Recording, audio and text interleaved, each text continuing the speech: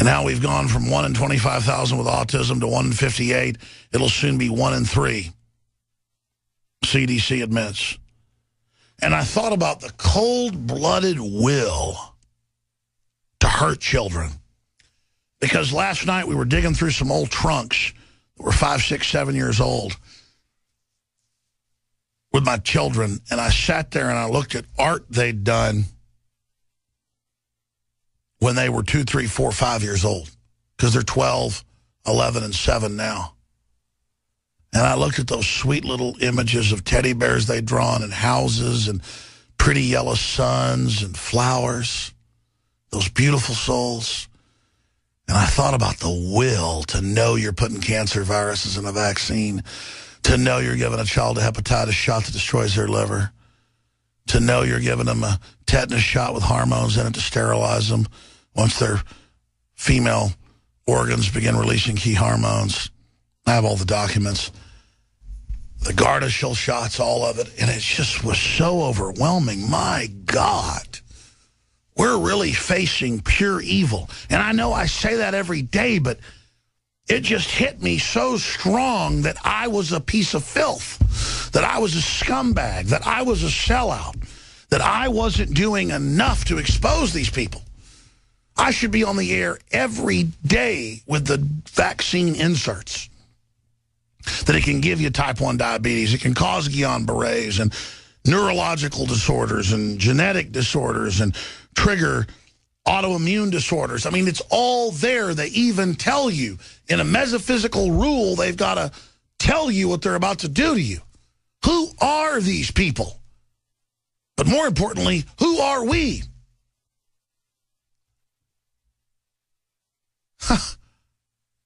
because if we don't stand up to this, if we don't say no, we're aiding and abetting it. You know, I shot, only a couple hundred people have it. It's, it's bizarre we got it. A bunch of listeners requested it. People on Facebook, we have like 3 million likes on Facebook between our seven channels. One of them has like a million, basically. It's like 980-something thousand followers. And so we got this thing called Facebook Mentions about a week ago. The algorithm kicked in and gave us that like Brad Pitt and the and, and The Rock and, and only a couple hundred people have it, like 200 people have it. And I was doing it. I did like four of them, and like each one got 200, 300, 400,000 views in like a couple hours. And I was sitting there thinking, I can just turn on something and talk to 300,000 people. Most folks will be on some ego power trip. I'm like, what do I do with this platform. That's why do not call in and tell me how great I am. Do not call in and say how much you appreciate me. Appreciate me. I'm fighting for survival. I'm not doing you a favor. Do you understand that?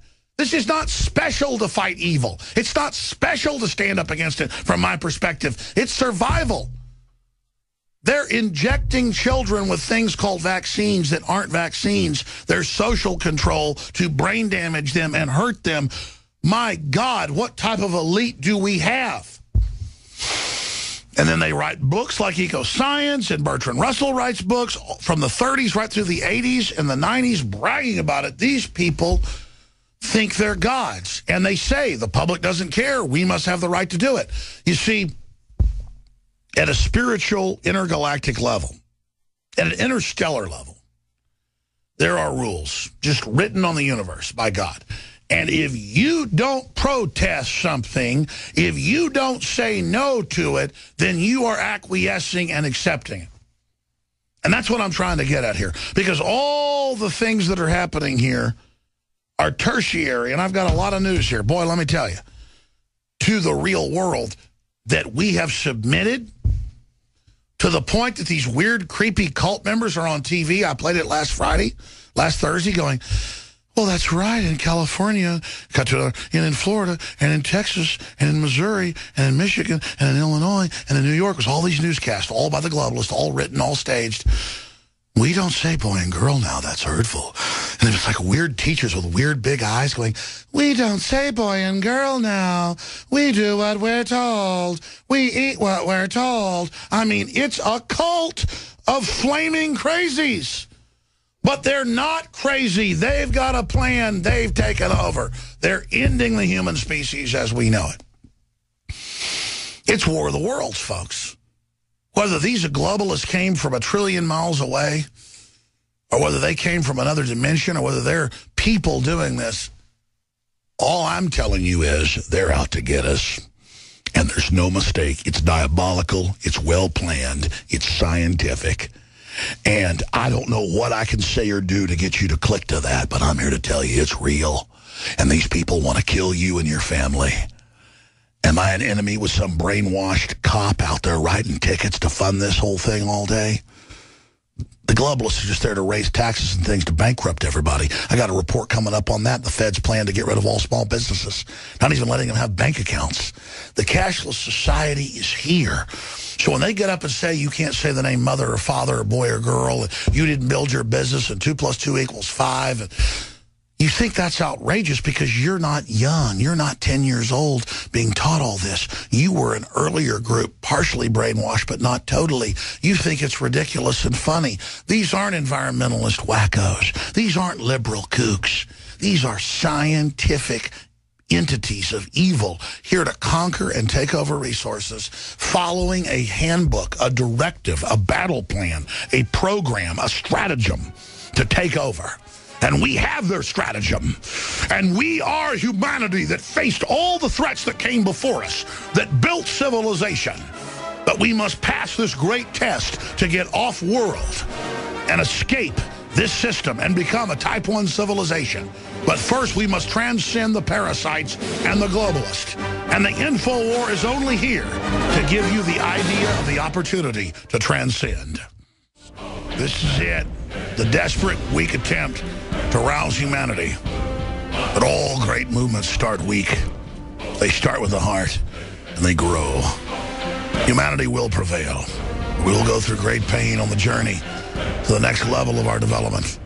This great challenge that we now face will decide the destiny of humanity forever. The enemy hopes you never realize that. They hope to brain damage you at birth. You know the autistic children are those that were hit too hard. They're only meant to be stunned, slightly brain damaged. But some children are terminally brain damaged. Some die. Some of us, though, survive. Survive on to fight. And that's what we do now in the face of this onslaught. To the new viewers, to the new listeners, will you join us in this fight or will you cynically decide that even though you ran head on against the truth and it knocked you over into the ditch, you just dust yourself off and pretend like you never saw it. But the hair on the back of your neck is standing up. You know you've seen the truth. You know you've been visited by reality. You know that honor and strength is greater than evil. And so in this world, you would be warned, not just once, not twice, but a hundred times and then again a hundred. I have before me incredible news. AFP on screens brain-damaging children. Bernie Sanders leading Hillary Clinton in New Hampshire polls by nine points. The rise of political outsiders. The U.S. warns Russia against more aid to Assad as he fights al-Qaeda and ISIS. Britain wants to quit Europe. Shock new poll shows EU no camp ahead for the first time as Cameron prepares to face down Tory rebels. Wealthy Gulf nations are criticized for tepid response to Syrian refugees. They won't take their own refugees when they launch the attacks on these countries and expect the Christian West to take their Islamic refugees. Europe's biggest bank dares to ask, is the Fed preparing for a controlled demolition of the market? The head of the Chinese central banks, Zhu Zhang has come out in Bloomberg News and says currency tension has now caused the bubble to burst. It's coming out that Steve Jobs was a nightmare totalitarian, authoritarian who oppressed people and was evil. Well, he doesn't let his children, before he died, play with iPads or iPhones, but he wants yours to. And he had deals with Foxconn in China for forced abortions and forced drugging and organ harvesting. but he had kind of a mullet. And he wore T-shirts like Zuckerberg, so he was non-threatening. Because everyone knows if you're in a yellow Volkswagen wearing a gray suit and you're a 16-year-old girl, you get in it. Because it's a conspiracy theory to think there might be someone out there who wants to hurt you. Take the vaccines, eat the GMO. Take it all and accept it because the New World Order loves you and your family. We represent honor. We are willing to slam like battering rams up against the enemy. But our power is limited. You give us the power. You give us the will to run into the enemy at a trillion light years speed. And we're ready to do it. But you have to make the spiritual decision to break with Lucifer and the devil and the God of this world and the fraud that has control of this planet and join with the Creator. You have to decide that Jehovah is what you want to follow and not the devil.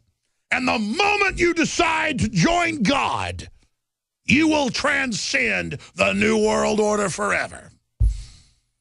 The devil Pope the communist servant of evil, calls for world government, calls for the West to accept the giant Islamic hordes that the West itself has triggered to flee their countries through Saudi Arabian attacks to balkanize and create civil war in our nations.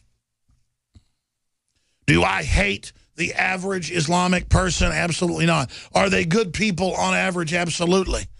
But there is a purge of good Muslims and a move run by the New World Order to put radicals in charge and bring them in with weapons to launch attacks in Europe and the United States, out of which a system of total control will rise. Can we show the footage I shot a month and a half ago in Rome of the 30-foot walls? And the security and the above the law, tax exempt, sovereign state of the Vatican, who now tells Catholics around the world that they should pay the money. All you'll do with the six and a half billion third world people wanting to get into the West, that's only 600 million, all you'll do by accepting them is cause more thousands of deaths coming across the Mediterranean, more deaths, more robberies, more killing, more collapse as the military globalist takedown of the West launches the new war of the 21st century. It stands that you would be told the truth. It stands that you would be able to see the reality. It stands that you would be given the choice. But the enemy is out in the open, an arrogant, above the law man that claims he has the keys to temporal and spiritual damnation comes out crossing those keys when other popes have fought against abortion and communism. He crosses those keys and does he block the borag of abortion climbing across the city? No, he says Catholics should stop opposing abortion when he first got into power two years ago. And now he comes out and he says to the world on Thursday, you will be forgiven of your abortion. Have your abortion. No, you will be forgiven of your abortion if you repent and admit it was wrong.